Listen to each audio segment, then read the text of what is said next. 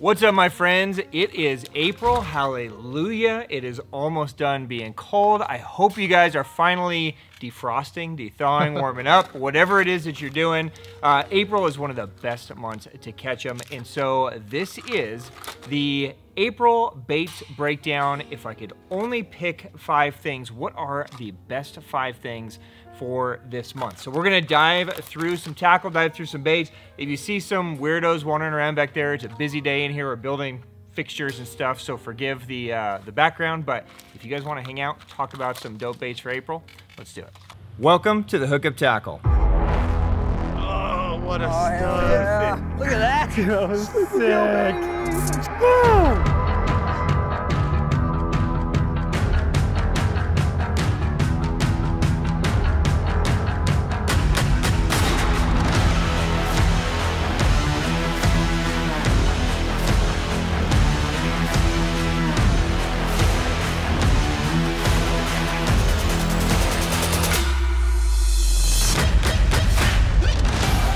My friends. Happy Sunday. All right, guys, some breaking news. What's new this week at the Hookup Tackle? What a beautiful coastline fish. Look at that. Look at that gut on that. That's a nice fish. Oh,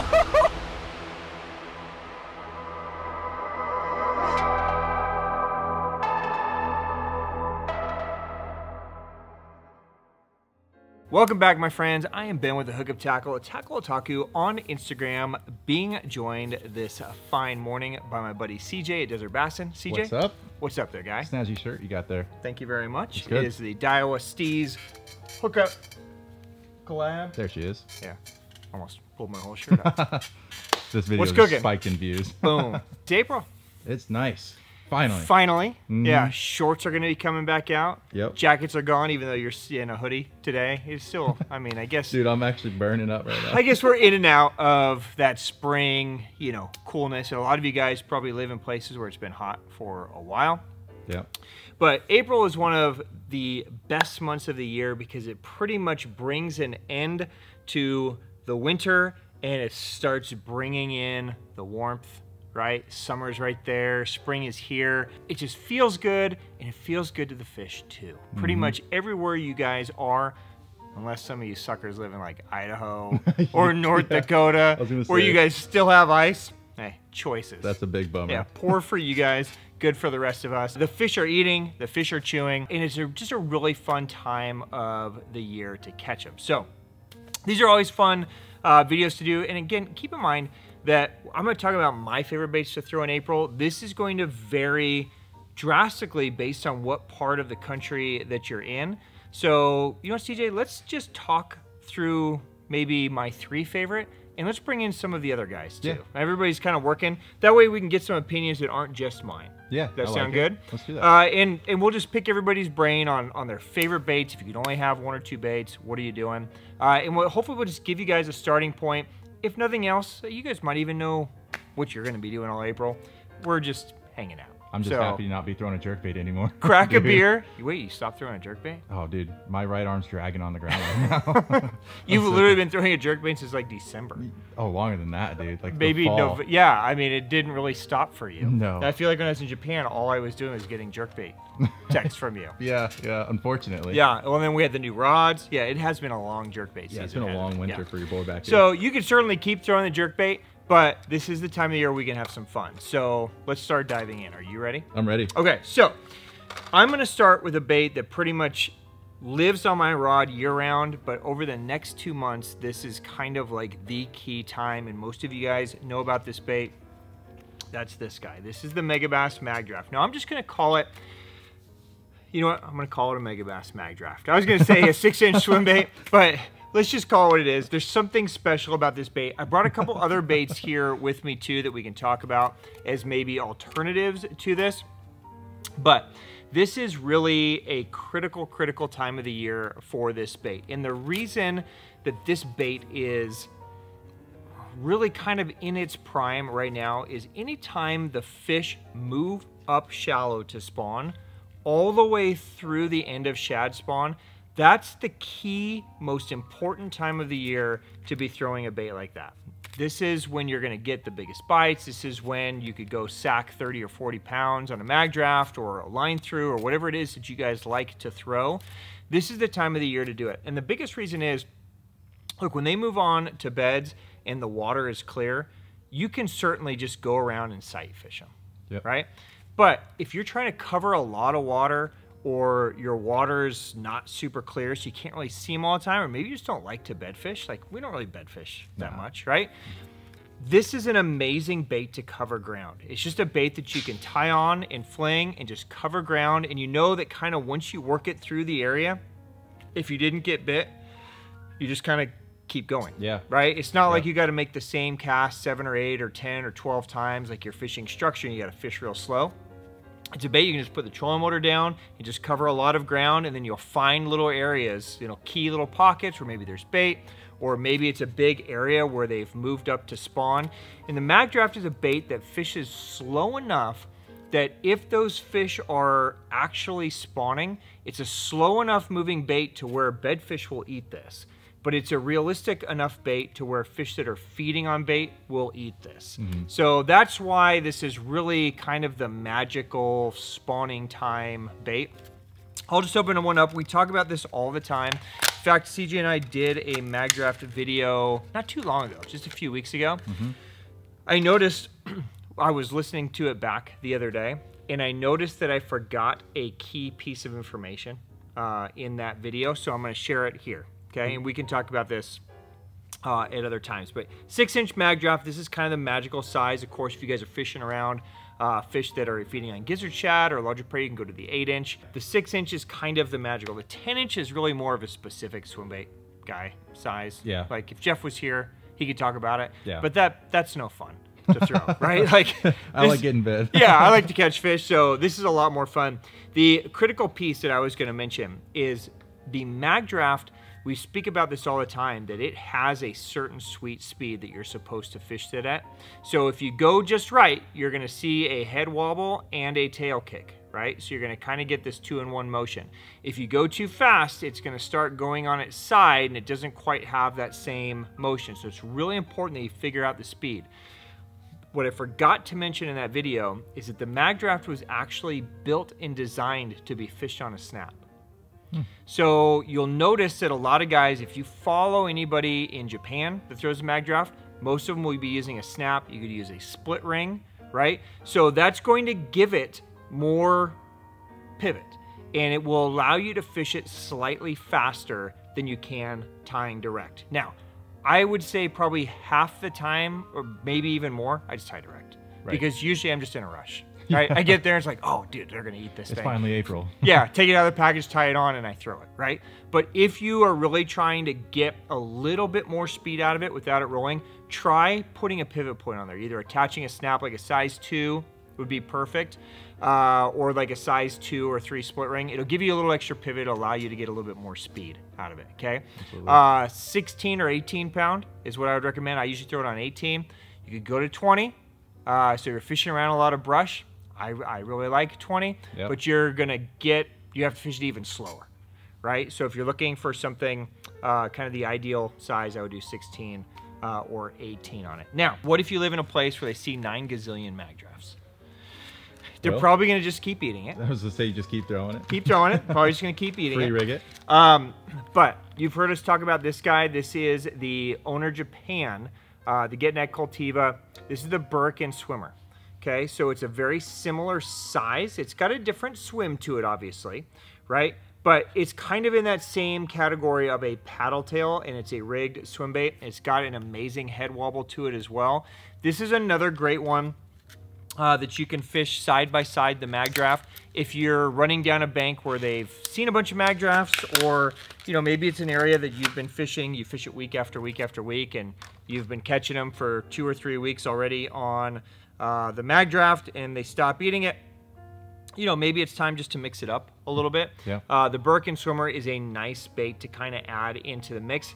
Again, it's got a little bit different swim, a different wobble, a different kick, uh, but they absolutely smoke it. So, you know, I don't know, try it. Yeah, you know, play with it. It's a really cool bait. I think you guys will catch a ton of fish on it if you try it. It's a really nice one to add. Yeah. Because it's a little bit different than this. It's not like you're adding the same bait, Mm-hmm. right?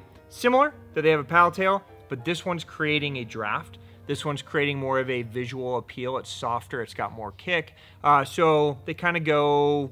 They kind of complement each yeah. other. When I was on that bite with the mag skip and docks, Yep. when that bite started tapering off, I noticed I was getting more bit bites on the beer on the yeah on the Burikin. Yep. Yeah. So it just mixes it up just a little bit slightly smaller, right? And they even make a smaller size than this, um, but you kind of get that same idea. So again, for a starting point for me, you know, a mag draft or a paddle tail like this is just a great one to just cover a lot of ground, right? I can fish it relatively fast. I'm moving the bait slow, but I'm fishing relatively fast because I can make one cast down a lane, not getting bit, I'm to the next lane, to the next lane, to the next bank, I'm to the next point, right? And I can cover a lot of ground until I figure out where they are. So for me, number one, mag draft. All right, number two, if I'm fishing an area that's full of cover, which is almost, for us, it's pretty much all the time spring. I would imagine that most of the country is probably like that. So for us, we get tons of rain and snow melt that starts coming down in the spring, and all of our lakes kind of fill up and brush floods. So we get lots of wood, lots of timber, just lots of crap in the water everywhere, right? Eh, Which makes it just super fun to throw Yeah. something in a bush and swim it out. Yeah, That's yeah. basically what it, what it is, right? So when it gets like that, when your lakes flood and it's happening at the same time, the water's warming, nature is pulling the fish up into those bushes and, and shallow. You basically just have to throw something in it and swim it out. And it could be a swim bait, it could be a spinner bait, it could be a chatterbait, it could be a crankbait. I mean, there's a million different things potentially you could do. So you have to go with your favorite, I would say, right? Whatever you have the most confidence in. So for me, I love a square bill. Okay, and this time of the year, my favorite square bill is this guy. This is the Evoke. So the Evoke 1.2 or the Evoke 2.0, pretty much always tied on. These are from Deps. The 1.2 is a 55 millimeter, 11 gram. The 2.0 is 66 millimeter, 18 gram, right? So basically a 3 8 ounce and like a 5 8 ounce, basically what we're looking at. The 1.2 and the 2.0 is the dive depth. So I'm pretty much always throwing this on 20 pound. So I get it a little bit shallower. So this is more like a 1.0 and it's more like a 1.6, right? So basically like three to four feet, you know, maybe like five, six feet, something like that, dive depth, okay?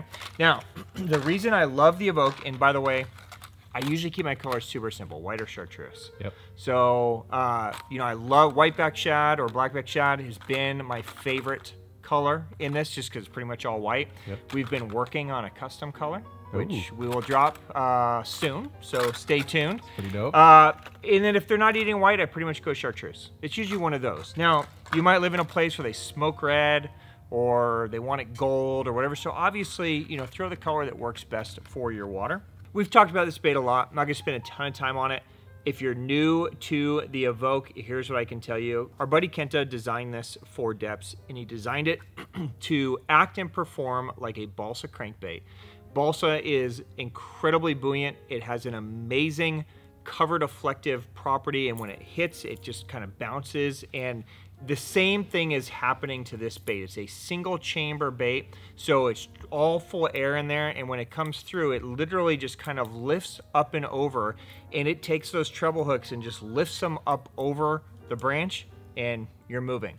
So what I do with this is I literally look for the nastiest, gnarliest tree, stump, wood, whatever I can find, and I throw this right into the middle, and I just wind it, and I just let it do its thing one out of 30 or 40 casts, it might actually hang up a little bit, and usually I can just kind of finesse it out.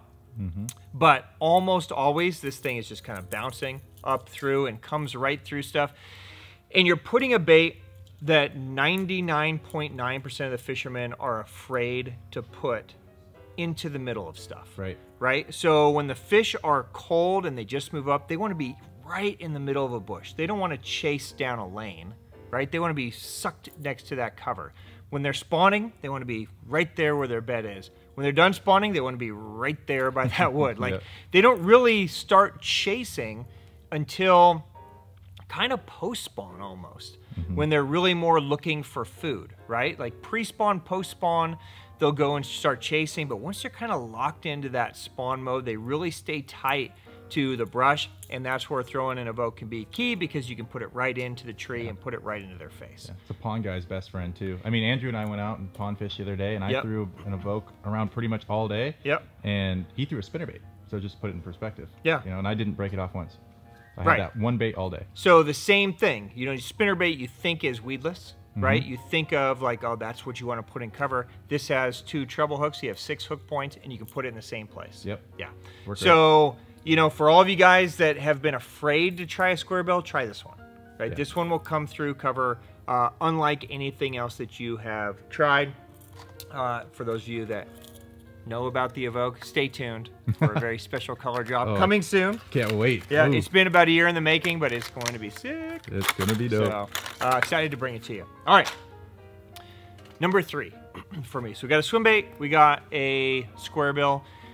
Pretty much anywhere I go in the country, except for probably a Great Lake, I can throw those two things and, and catch a fish. Smallmouth, largemouth, spotted bass. I can just go around and run and try to find some bass, right? Now, if they're just not chasing, or I have found, or I've got a few bites in this little area, then I can slow down and really start picking things apart. So again, because we're shallow water focused, we're heavy cover focused, you know, we've got docks, we've got trees, we've got grass, whatever your shallow cover is, it's all about flipping for me. Oh yeah. Okay, so this is this is the time where your pitching stick, your flipping stick. I mean, I'll literally probably have three or four. I have a couple swim baits, a couple square bills, three or four flipping rods rigged up. Right? I mean, it's it's junk fishing time of the year. I mean, you could do a gazillion different things, but this is where the flip really starts getting good for me. Okay, and I'm going to talk about some different baits, uh, rigging setups, what we do, uh, and again, this is all just personal preference, so it's based on experience, what's getting bit for you, and what you enjoy doing. Flipping, pitching, punching means different things, I guess, to different people. So typically, when we talk about flipping, right, we're talking about. Let me throw this out there. Just got to get that motion going. Yeah, I bet that know. feels Oh, nice. I want to catch them. okay, so flipping typically you're pulling the line back, right?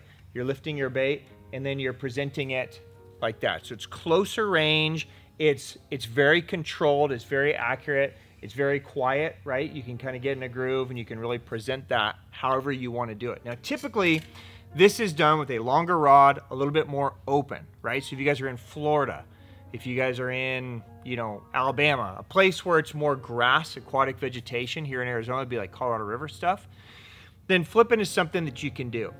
For the rest of the country that are fishing around trees, right? We've got lots of overgrown stuff. You're in closer quarters. Then you're probably pitching more.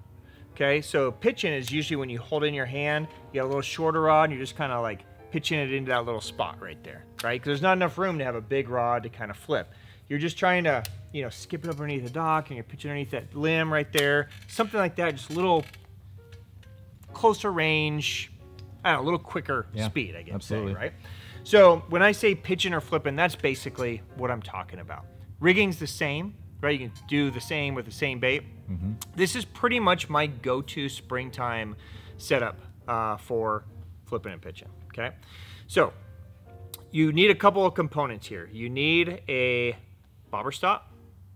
Okay, that's going to basically hold your weight in place so that whatever you have down here is all one package and it all kind of falls through uh, the cover in one unit, right? One piece. This is going to be important because as water floods and water floods the bushes, you want the bait to kind of fall down together, right? If this separates, if you don't have a bobber stop on there and your weight's free to fall and your bait's free to fall, this could go under one log and this could go under another log and like you set the hook and there's not really anything there. Like it could become a mess, Yeah. right? You can snag a lot.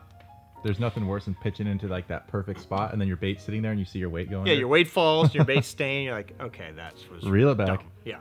So you definitely need a bobber stop. Now there's a gazillion different bobber stops on the market. Um, I pretty much just live like this is a really good one that I really like. This is the Ryugi combo stop. Um, you could use this. Decoy makes a great one. Old school Eagle Claw bobber stops. It doesn't matter. Uh, I just like black. Yeah. It's in my head. So you know, sometimes you get those eagle claws and they're like black, red, and yellow. Yeah. Right. Yeah. yeah.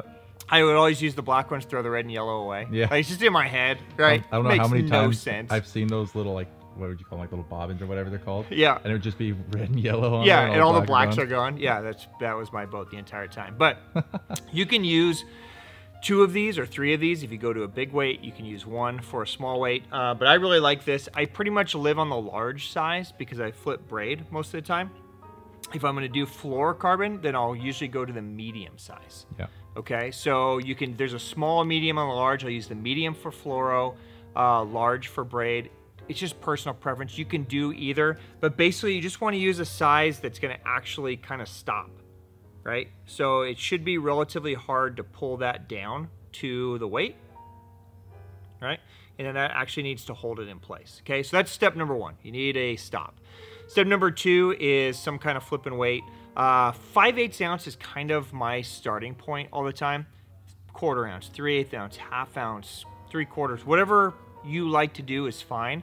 Usually the shallower the water, the lighter the weight, right? And the deeper the water, the heavier the weight. So sometimes you'll be fishing like a big tree that might be in 20 feet of water. Maybe the fish are at the bottom. So you might be better off taking a three quarter or one ounce to get it down there to bounce around all the branches to actually make it down. Some Sure. of you guys might live in some big mats, right? Where you need a one ounce or a two ounce to actually penetrate the vegetation, right? Like Grifffish is a place over here by the Gila where you oh, throw Oh, yeah. the two and a half ounce or Yeah. three ounce Crazy, sometimes. dude. Like the craziest, it's literally like a solid two foot mat You would never guess there's fish underneath that. yeah, he's Ever. nuts. But he flips it through there and he gets it down and catches fish, Yeah. right? But if you're looking for a place to start, for me, I would say half ounce or five eighths ounce. Those are the two most usable sizes. I like five eighths because I tend to fish faster than most people. I like to get it in there, make a good accurate cast the first time, let it get down there. If I don't get bit, pull it out, fish the next bush. Like there's gazillions of bushes. Yep. So I just want to cover as much as I can. Absolutely. Right? Yeah. as far as brand or whatever, whatever works for you is good. So I like the Ark Tungsten. Um, you know, I like the Reins. I like the Picasso. This is a Picasso. Yeah. It doesn't really matter to me. Um, so whatever one you like is fine. Mhm. It's a flipping weight, not a It's a worm weight. it's a flipping weight. yeah. So not a worm weight. Not think- a worm Weight. I think people get confused sometimes. Okay, I've seen we? guys- Let's talk about that. So the difference between a flipping weight and a worm weight, even though they're both bullet sinkers, Yep. a worm weight is usually longer and thinner, and a flipping weight is usually shorter and fatter. Okay, the importance of that is usually when you're fishing a worm weight, you want the the longer the weight, the more weight there is, right? The more it's going to lay on the rock, lay on the sand, drag around, the more weight that's making contact with the bottom to feed you back input, right? But if you flip with it, there's also more weight now to snag. It's Yeah. longer, so it can wedge into places more, and you're going to find that you snag a lot more flip and close range with a worm weight. A flip and weight is usually shorter and fatter, right? So you've got kind of like this fat belly to it, and it's designed to be a shape that won't really wedge. It kind of bounces up and over stuff. So it's going to snag a whole lot less, mm-hmm. right? Now, if you guys are just getting into this, you're going to look at lead and you're going to see, oh shit, lead bullet weights for $1.99 a pack. and then you're to look at tungsten and you're to be like, holy crap, two for nine bucks or mm-hmm. eight bucks or whatever, you know, tungsten you go with. Pay the money to get the tungsten. Absolutely. Okay, so it will cost you more per weight, but you're gonna hardly ever lose them. Mm-hmm. So I can tell you, when you flip lead, you're gonna go through a ton of weights. They're just bigger, they're longer, they're softer, they're gonna snag, they're gonna wedge, you're gonna break more off. The tungsten are super hard, and they're smaller. They're gonna come through cover a lot more. You're gonna hardly ever lose them. Yeah. Okay. I think if you talk to any flipping guy, it's all about being compact too. Yeah, for sure. I lose more tungsten weights in the bottom of my boat in my drain than I do to the bottom of the lake. Unfortunately, it's Yeah, so true right. here. I cut it off, I throw it down there, and I go, I'll tie that on later, and I don't. Yeah. And my weight finds its way to the bottom of my boat. It's like a cup holder full of Yeah, tungsten exactly. somewhere. exactly. All right. And then behind the weight, you're going to need a hook and you're going to need a bait, right? So in between my weight and my bait, I will sometimes put a punch skirt. Okay, now these are the hookup tackle punch skirts. These are hand tied in Japan. Okay, uh, these used to be branded under a different brand, right? That shall not be named. It's an amazing skirt that's a really hard plastic bead and then a hand tied silicone material. I use a punch skirt religiously when the fish need a slower fall. Okay, so if the fish are super aggressive and they want it to fall really fast, then I don't use a punch skirt. I'll just go to like a three quarter ounce weight or even say at a five eighth ounce weight, something that just falls really fast and you just get it to the bottom of the tree. And that's typically when they're like feeding on shad really heavy. So like shad spawn is, I usually don't put a skirt early in the season and kind of post spawn when the fish kind of want a little more bulk or they want a slower fall, I go with a punch skirt. Okay, so punch skirt will slow it down a little bit. It'll also create more bulk. So it creates more of like a bluegill type profile, a crawdad type profile. If I take the skirt off of there, then it basically is just more of like a shad or a bait fish kind of falling down. Okay, so that's kind of how I choose. No right or wrong, it's whatever they eat. But typically, I start the season in the colder water with a skirt and I fish it all the way through post spawn. And then once I see that they're actively crushing bait, I usually take the skirt off and go back to just straight bait. And then when it gets to be summer again, it's molten freaking hot, uh, and the fish kind of slow down, I go back to the skirt. Yep. Okay, so that's kind of my thing. Now, I do this versus just flipping a flipping jig because my land ratio is way better on this. Mm-hmm. Okay, so jigs have one of the worst land ratios of all things, so I don't flip a jig. Uh, that's why I stay in here. Uh, then you need a hook, right? So here, let's just tear this bait off of there. So gazillions of different hooks. Uh, you know, owner makes amazing flipping hook. Uh, a lot of you guys like the Gamakatsu flipping hook. Uh, the last season or so, I've been playing a lot with the Ryugi. This is the Ryugi uh, Tantrum Control, and I've really enjoyed using this hook. So it's not a true straight shank. It's not really a kinda like true anything It's like a hybrid between a straight, sh- a straight and an shank EWG. and an EWG. Yeah. Right. So if you guys are fishing just straight aquatic vegetation, just go with a straight shank, like the owner flipping hook or something like that, the Gamakatsu flipping hook, Trokar, whatever it is that you like. But what we do out here is we flip a lot of like combinations. So it might be aquatic vegetation for, you know, 15, 20 flips, and then there Yeah. might be like a big laydown or wood, Mm-hmm. right? Where the challenge to using a straight shank in wood is a lot of times you get it to the base of a tree and they bite and you set the hook and that straight shank will actually penetrate the fish's mouth and wedge into the wood mm-hmm. right? So a lot of times you'll flip in there and you'll shake it and it'll go thunk. And you're like oh hell yeah and you wind down and you set and you feel like you just set into a stump. But you've actually set into a fish that's now literally pinned to the stump and it's stuck there. So a lot of times when we're fishing wood, we'll go to an EWG style. The tantrum control kind of lets me bridge the gap. It's kind of in the middle. Here's the tantrum control. So it comes in a 3 aught, 4 aught, 5 aught. I live in 3 aught and 4 aught pretty much. Uh, I'll go to 5 aught if I'm flipping something really big, but I hardly ever do, right? So it comes like this. There's no barb or anything on it. It's kind of that hybrid, like CJ said, straight shank and EWG. I usually just tie my double Palomar. So I don't even need to snell it, but you could certainly snell it if you wanted to snell it. And you're gonna need a keeper.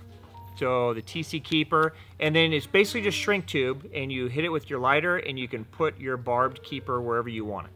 Okay, so I pretty much just rig it like that. Let me get that out of the way. All right, that makes sense? Yeah, I like that. Yeah, so that slides over the hook. You mm-hmm. hit it with a lighter, and then you've got your keeper. Now, as far as baits go, I keep this relatively simple. Okay, my starting point almost always is that guy, Reaction Innovation Sweet Beaver. Okay, so this is just a bait that comes through cover very easily. It just kind of has a falling type of motion, doesn't have a lot of life to it. It just moves through. There's nothing really scary about it. Gazillion different colors. It's Yeah. an amazing bait. It's durable. It's been on the market for ages. Not that expensive.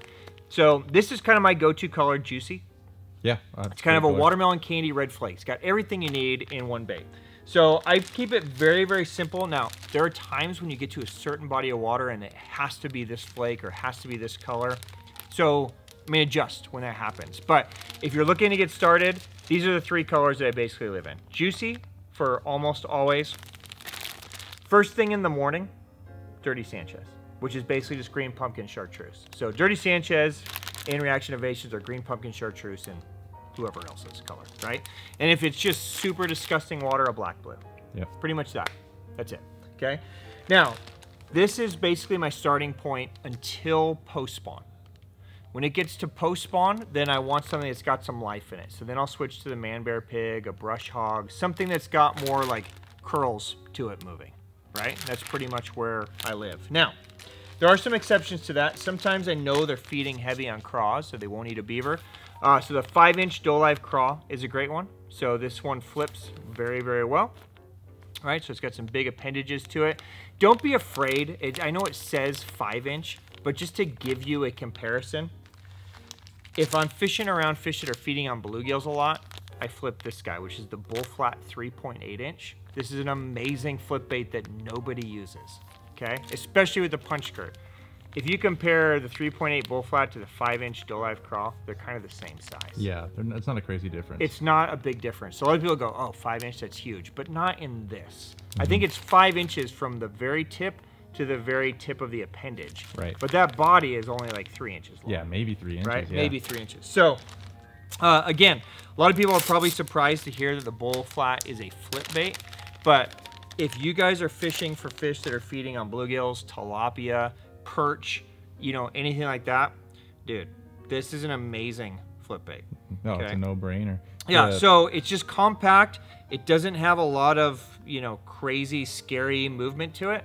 But especially when you put that skirt in front of it, you just have this beautiful, bulky bluegill falling down through the cover. It just, it looks incredible. It's super subtle. Okay, so that would be a great one to add uh, depending on regionally where you guys are. The other one that's amazing that hardly anybody uses, but it's kind of one that we figured out a couple years ago on accident just because we ran out of baits. but it turns out that it's an amazing one uh, when the fish are keyed in on bait, and that's this. This is the OSP Dolive Stick Fat.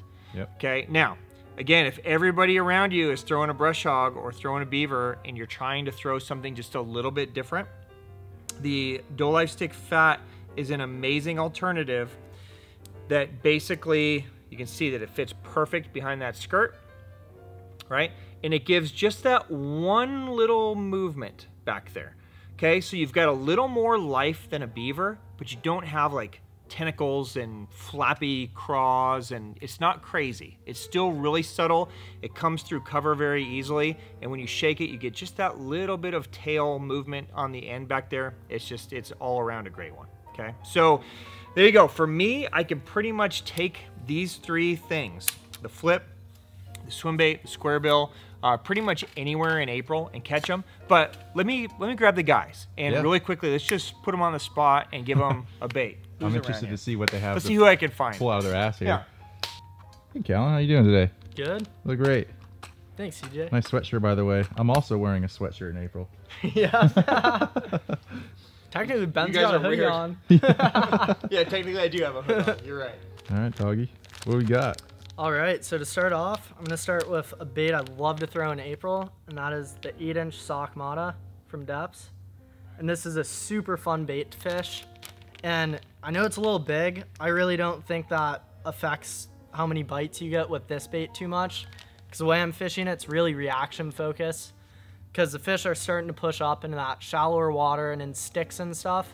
And I love rigging this weedless and just burning it almost as fast as I can and just killing it.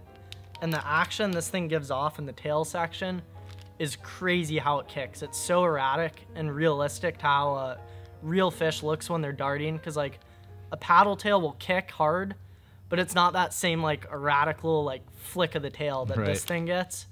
And it's just a really fun bait to throw, and they just smoke it. It's kind of how like what Kenta was talking about, like how he likes to fish it is just burning it. Exactly. I mean, the bait alone already has so much drawing power. you Yeah. know?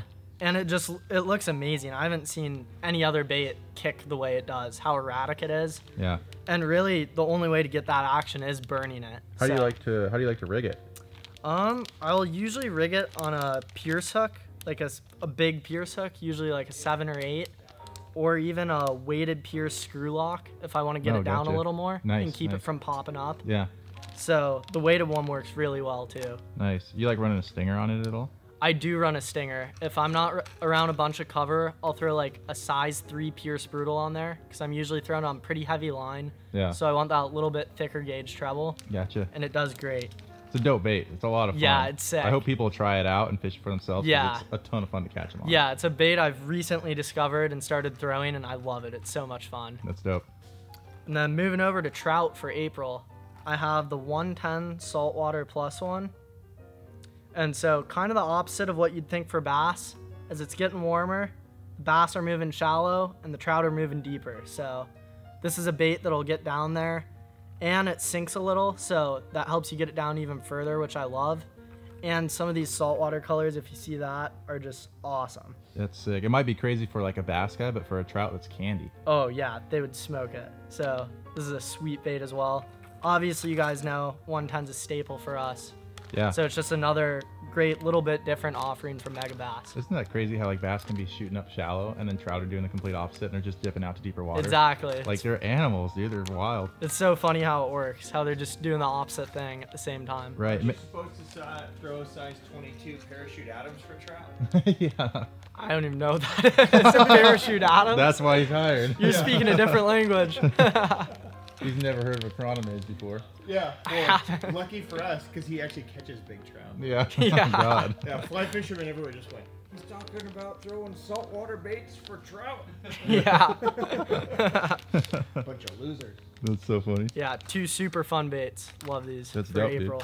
Andrew, Andrew, let's get it going. good job, Kellen. Funny. How are we doing today, sir? Good man. How are you, CJ? I'm doing great. Yeah, Just learning all these secrets here. That new mustache, dude. Oh, dude, it's coming in thick. It's my uh, chia pet. The e- 80s porn stash. This yes. thing's fire. All right, guys. April, springtime. I mean, I picked a spinner bait. Uh, obviously, gonna throw a variety of baits, but spinner bait's a great one for searching, uh, covering water. Obviously, all the bait's gonna be moving shallow. Uh, you got smaller size bait fish moving in. Uh, bass are hungry. They're moving around.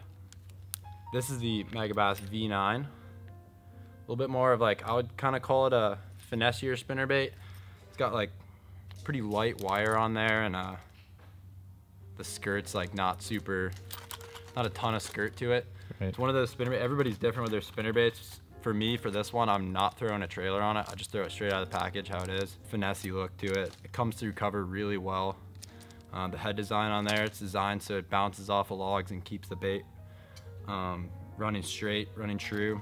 I mean, fish it deep, fish it shallow. It's a spinner Yeah. bait, so. I like that you went with the V9. A lot, I think a lot of people go with the SV3. Right. Yeah, I feel like the V9 slept on. I mean, in my opinion, I like it better than the SV3, just looks wise and performance wise. I love the blades on it too. Yeah, It's it's not. It's like look. a what are these Indiana blades? Yeah, they're kind of like an Indiana, Indiana, blade. It's Yeah. like a hybrid Colorado willow. It's which cool. is perfect for the Yep. spring because I mean, typically you don't have like super clean water, yeah. so you're getting right. that hybrid. Right, So it's you not chocolate milk, but it's not like crystal clear. so you're getting a good thump. Exactly, and then obviously you can adjust your colors to uh, whatever forage and water clarity you're fishing. Um, but yeah, spinner bait, great springtime search bait, pre-spawn. Um, even going into summer, yeah, Yeah, it's dirty. as it warms up. Switching gears, trout, this might be a little more familiar to Yeah. you. Yeah. raid level minnow. I'm gonna take it out. We've done some work on the level minnow the past year. Yes, level minnow. Pretty much as soon as they came in, we were drawn to them. Just nice big jerk bait, gnarly hooks on there. yeah. Seriously. The color's sick. Yeah. So this is uh stand by. Natural This is natural shad. Um, awesome little clear bait fish presentation. So level minnow's sick for um, my favorite thing about it is the castability. I mean, the weight transfer system they have there, it's this magnetic system. I can't even get it to go, but when you really whip it with your rod, you can actually hear it like snap as the weights transfer forward in the bait, and these things launch. I mean, you can cast these further than any other jerk bait this size that, that I've used. Um, and then the action, of course, is great. I mean, you can fish it with pulls, jerks, hard taps. Mhm. Um, you can just straight reel it. Yeah. There's no really wrong way to fish this bait. And um, April, you got the ice coming off the lakes. The trout are gonna be shallow. something like this where you can make a long cast down a flat or something like that and just keep it moving. Long, long cast, slow retrieve, just on the pause usually. Yeah, I like that the level minnows are pretty forgiving too. Like with a 110, sometimes you got to twitch it just right to get the ideal action out of it. Right. The you level can't really mess this thing up. Like Right, pretty much any way you hit your rod, it's gonna like react in a good way and look natural. It has a lot of roll to it too. Mm-hmm. And obviously the hardware that, that comes on these guys is straight out of the package, ready to go. Really Yeah, they're strong sticky. hooks. Yeah, super sharp. For anybody watching, do you have a simple way to choose a level minnow over a 110 or a 110 over a level minnow? Like, how does the level Yeah. minnow fall into? Like, I mm-hmm. know you're a huge 110 fan. Yeah, yeah, How I love do the you 110. determine when it's time to throw the level minnow over the 110? Right. So I, that's one of those things where you're kind of just gonna have to feel it out because they're both amazing baits. They both do different things. I wouldn't say one does one thing better than the other, other than the level minnow. If you need that extra 20, 30 yards on your cast, it'll give you, it'll give you that. Um, color-wise, I would say you have more options with the 110, but Raid has been giving us some awesome colors recently. So I wouldn't say it's like I'm gonna pick one So over the other. Mixing it in. Yeah. It's just a gut thing Yeah. where sometimes Yeah. you're like, you know what, I'm going to try this right Yeah. now. And, okay. Yeah, obviously the level minnow's a little bit bigger. So I mean, if you're gonna want to upsize, then that's one of those baits that you'd for sure try. But Yeah. I mean, the last couple months, this has been a killer for us. We've loved using it. Um, Pretty much everything. Yeah. too. Like you guys have been Yeah. tracking trout. You've been catching small. Yeah. I've caught, yeah. yeah, I've been using it for bass and trout. Um, it just gets bit. It's just one of those baits. I know uh, someone said it. You told me it was the same guy who designed the 110 actually designed the level minnow. So there's that. I mean, obviously that guy knows what he's doing. Yeah. Shoot, I caught Yeah. one. Something. Yeah, He just a little bit. Yeah. He, he That might, he might know a thing or two. Wall to your right over there might mean something. Yeah, yeah, it's pretty established. But yeah, raid level minnow. I mean, Colin kind of covered what what the basics are for jerkbait fishing this spring for trout. Just it's a jerkbait. I mean, we've been doing it for months. Everybody's Yeah. been throwing jerk baits, So Shoot, I even caught one last time we were up Yeah. north just trolling it. oh yeah, like dude. they just chew if it. you haven't tried the level minnow, give it a try. I mean, it comes in a little cheaper than a 110 too, so that's always a plus. Yeah. Plus, you do not have to switch those hooks if you're a guy that switches your Katsu out barb hooks.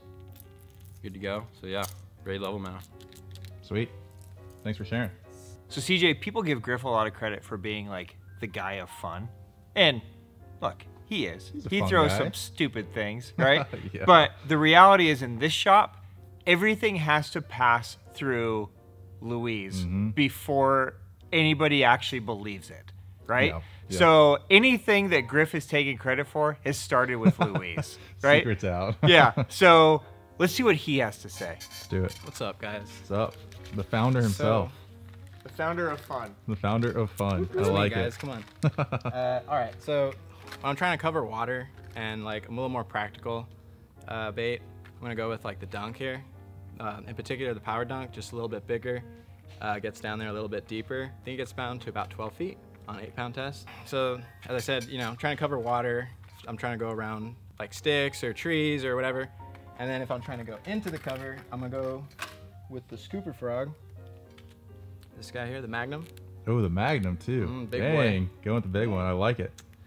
And how I run that guy is uh, with a six aught uh, bellows or infini. And then you have your choice of, um, depending how you want to run it, you can hang it on the line with the hanger glide there. Gotcha. Or if you're more straight to it, you can just put it right on that split ring, which I like this teardrop one, just keeps kind of everything on one side there when you're working it. And then uh, I like the five gram, little tungsten on there.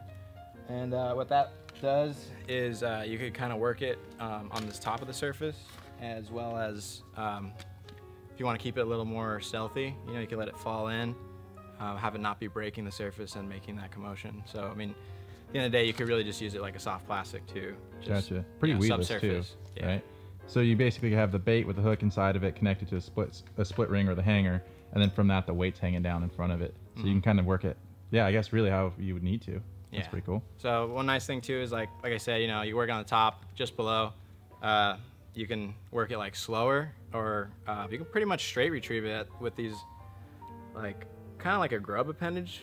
Yeah. Um, hmm So like on that straight retrieve, they get just a little bit of a kick on there, and uh, that's something I'm like a real big fan of is uh, frog that you can work more than one way. So. You think like when the fish are looking at it, like it's scooping across the top of the surface? You think they think it's maybe like a bluegill or shad too, or So- are you going strictly for like a frog presentation? Mm, I think with this one, like probably like more so a frog, just because it's got like, you know, basically looks just like a frog. Right. swimming, It's scooper frog, like, right? Closest thing to a frog I I could think of like that, you know, as far as a plastic frog goes. you know, Right. so- Yeah. Absolutely. I mean, it's, there's probably not a better bait out there that looks just like a frog, especially when it's swimming. Yeah. So when you're twitching it, so you're like casting it out there and you're just kind of putting the rod down and just twitching it down. Yeah, I mean, typically like you would like a, a regular frog. You're not trying to necessarily walk it, but Mm-hmm. you know, just uh, have it something to have it break that surface, Gotcha. and then um, just you know, uh, depending on how they're wanting it, you know, so if you need to keep it up there, you know, moving a little bit faster, so it's just- just keeping that um, water breaking, That's cool. um, or you know, if you need to drop it down a little bit, or just even get it into right. a little right. more more into the cover, then you just let it fall into it, which it's got a nice little, like uh, it's kind of like a Good vertical slow little, fall. yeah. So you can basically like burn it on the top to where you need to get it to like a stick or something like that, and then Mhm. soak it by that stick. So oh, that's Yeah. cool. I like that. S- Cover a bunch of water with that. Yeah, that's pretty much you know so, something between the two of those is what I'm going to go with. Uh, either covering water or just trying to keep it fun with the top water. Can't beat that. So Right. Of of course. I mean, best way to catch fish. Sweet. you know. Ben, what do you have to say about scooper frog? You a scooper frog professional like Luis? Well, obviously not like Luis. The scooper frog, I think, is one of those super under the radar things that when it first came out, everybody pretty much just assumed it was a topwater bait, right?